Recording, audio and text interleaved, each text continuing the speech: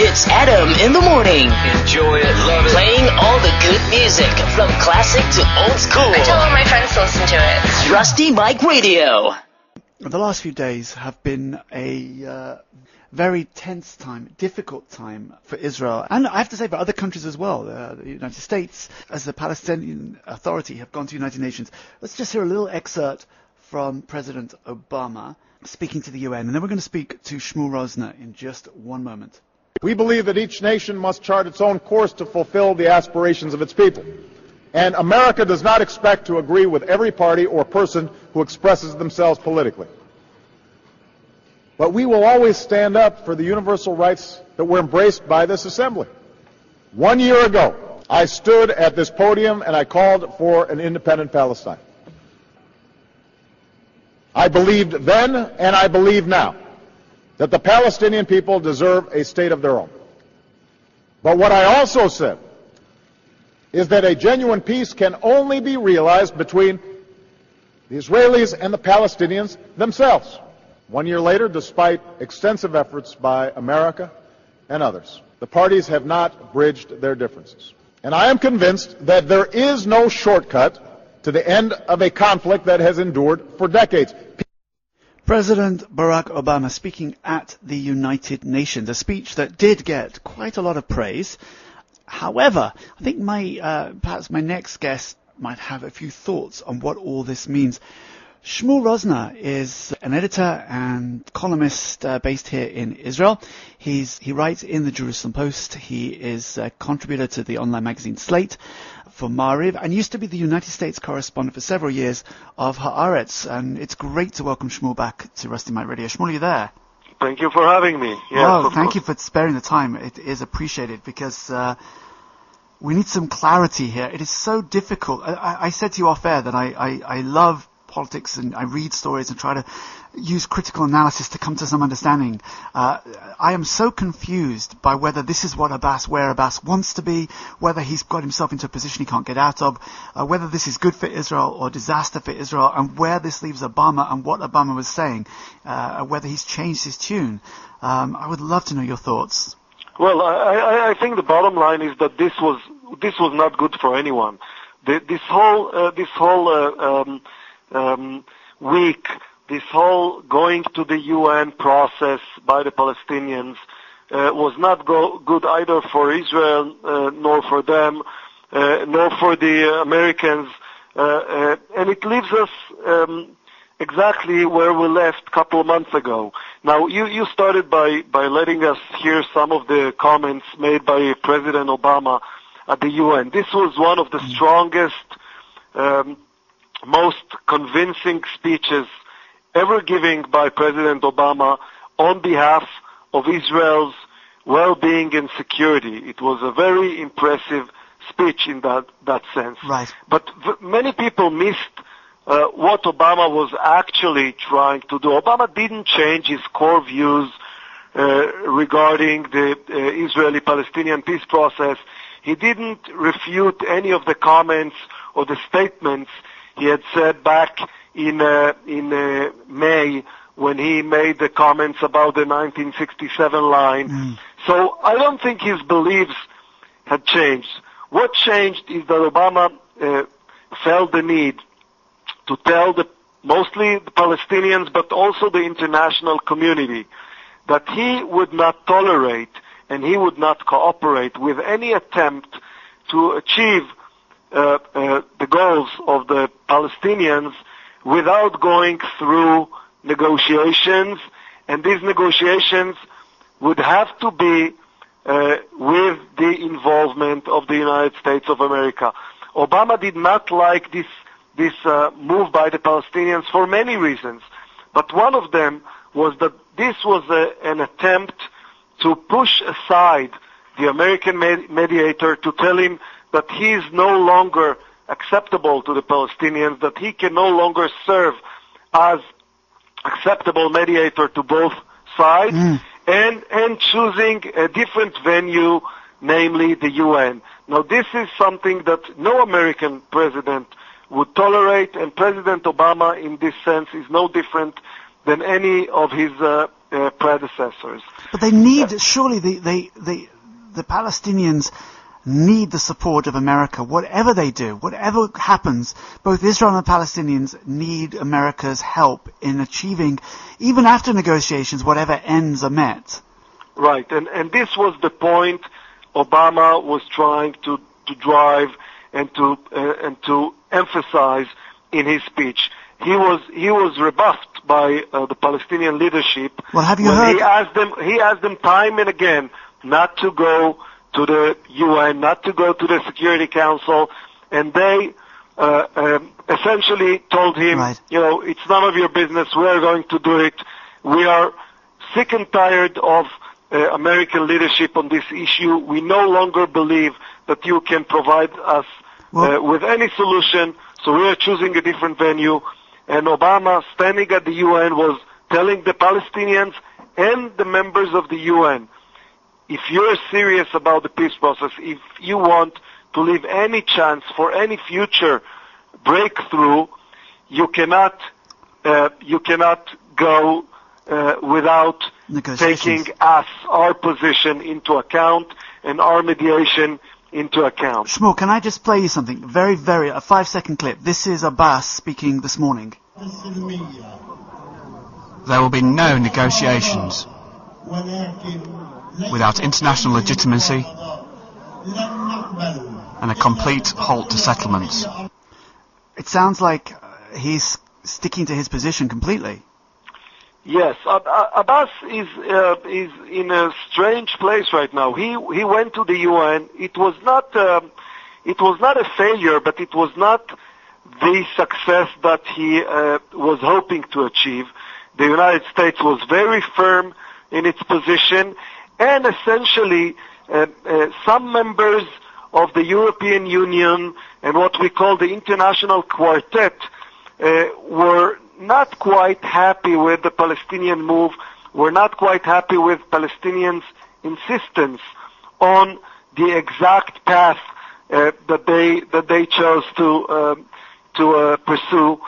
So eventually, Abbas came back home as somewhat a hero because he was standing up to the world. He was he was um, uh, standing on his principles.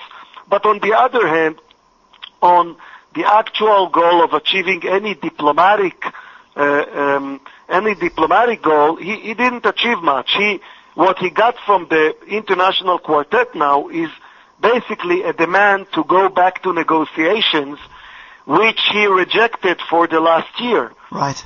For the last year, Abbas was saying, I will only go back to negotiations if Israel freezes settlement activities. Now what the international quartet, again, this is not just the United States, it's the United States, the UN, the European Union, and Russia. They're all telling him you need to go back to negotiations with no preconditions.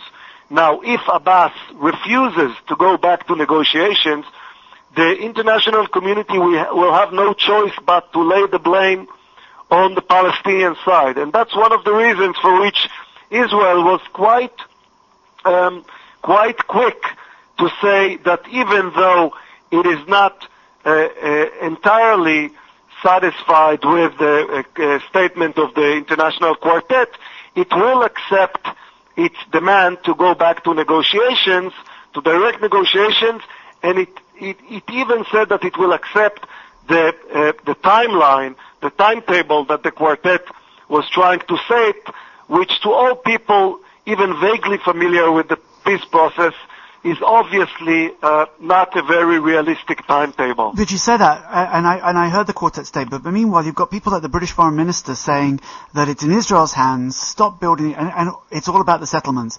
And I wonder if over the next few weeks the narrative will once again change back to settlements rather than uh, Palestinian re- re- recalcitrance to, to, to negotiate.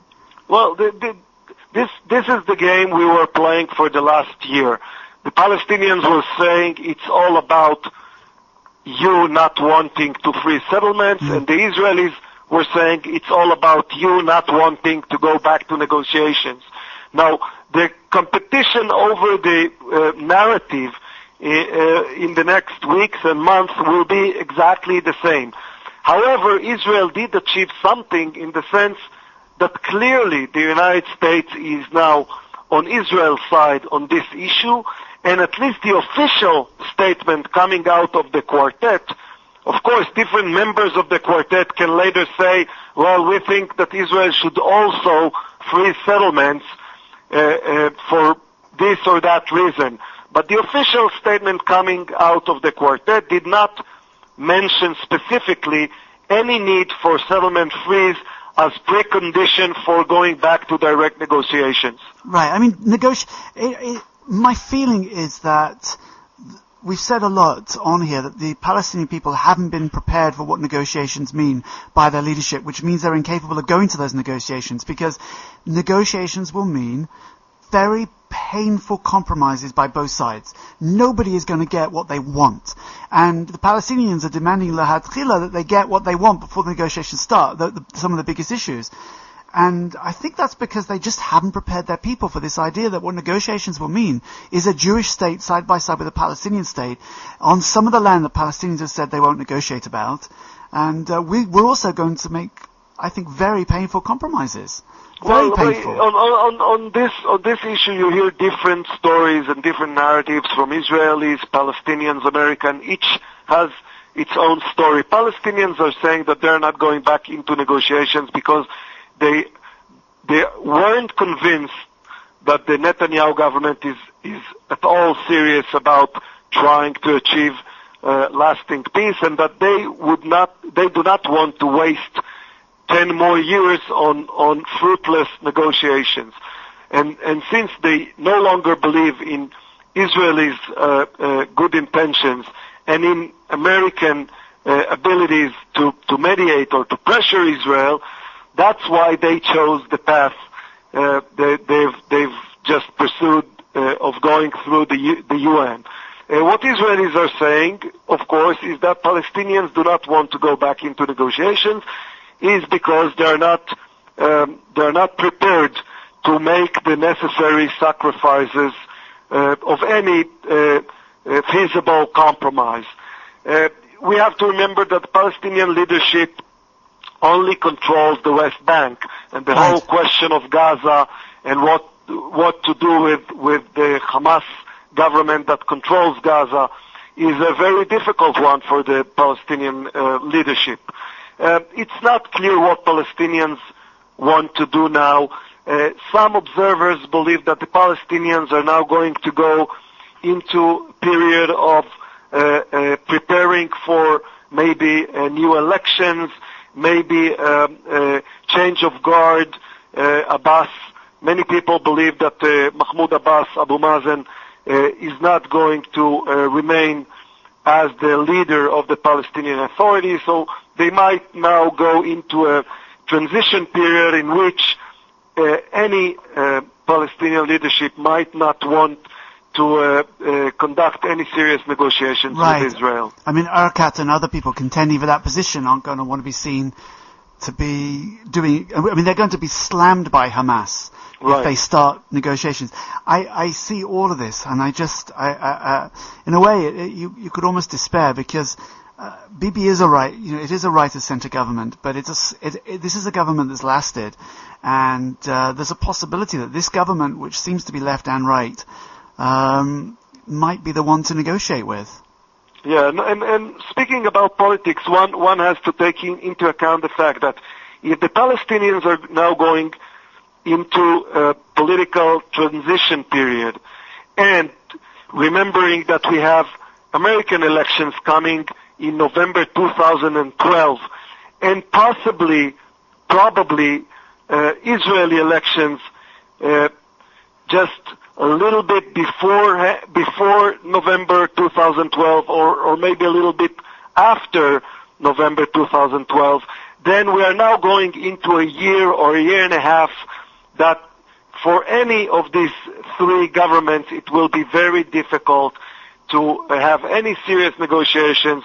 They will all be consumed by the uh, needs of, of the of politics and of election cycles and I don't think we should expect any meaningful breakthrough in the in the coming months. I hadn't considered that. Of course, it's it's going to be an almost certainly election cycle here.